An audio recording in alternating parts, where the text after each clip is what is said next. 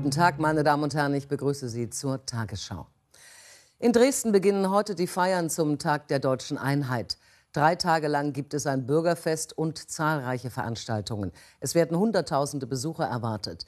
Zum offiziellen Festakt am Montag kommen auch Bundespräsident Gauck und Bundeskanzlerin Merkel nach Dresden. Die Sicherheitsvorkehrungen sind noch einmal verschärft worden, nachdem Unbekannte am vergangenen Montag zwei Sprengstoffanschläge verübt hatten. Volkswagen hat sich in den USA mit Autohändlern auf einen Vergleich geeinigt. Der Autokonzern bietet den rund 650 Vertragspartnern Entschädigungszahlungen in Höhe von insgesamt 1,2 Milliarden Dollar an. Damit sollen Verluste ausgeglichen werden, die im Zuge des Abgasskandals entstanden sind. Ein Gericht in San Francisco muss noch zustimmen. Ende Juni hatte sich VW bereit erklärt, US-Autobesitzern Entschädigungen in Höhe von insgesamt rund 15 Milliarden Dollar zu zahlen. Im Kampf gegen Fluchtursachen hat die Bundesregierung nach eigenen Angaben etwa 34.000 Arbeitsplätze in den Krisenregionen um Syrien geschaffen.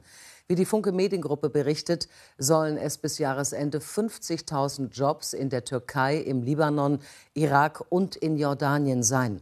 Das Entwicklungsministerium zahlt demnach die Gehälter für Flüchtlinge und Bewohner, die in den Krisenländern beispielsweise Unterkünfte bauen oder Straßen reparieren.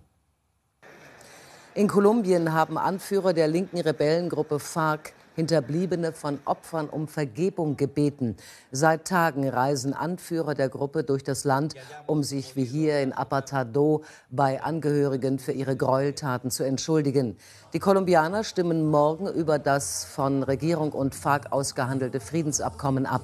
Es soll den seit 52 Jahren andauernden Bürgerkrieg beenden, bei dem Hunderttausende Menschen getötet wurden.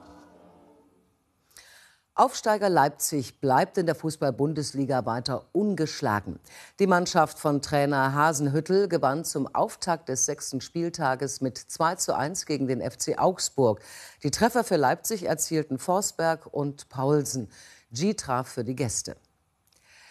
Und hier noch die Wetteraussichten. Heute im Südosten freundlich, im Nordwesten zum Teil gewittrige Schauer, dazwischen meist stark bewölkt und gebietsweise Regenfälle 13 bis 25 Grad. Die Tagesschau meldet sich wieder um 12 Uhr. Ich wünsche Ihnen einen schönen Tag.